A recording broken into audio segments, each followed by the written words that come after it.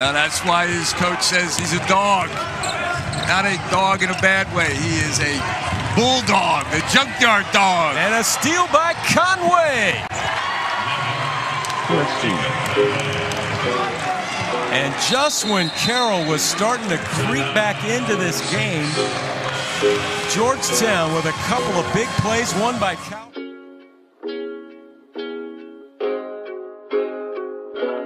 Three, Coward. Out to Conway, open look. Got it with one on the shot clock.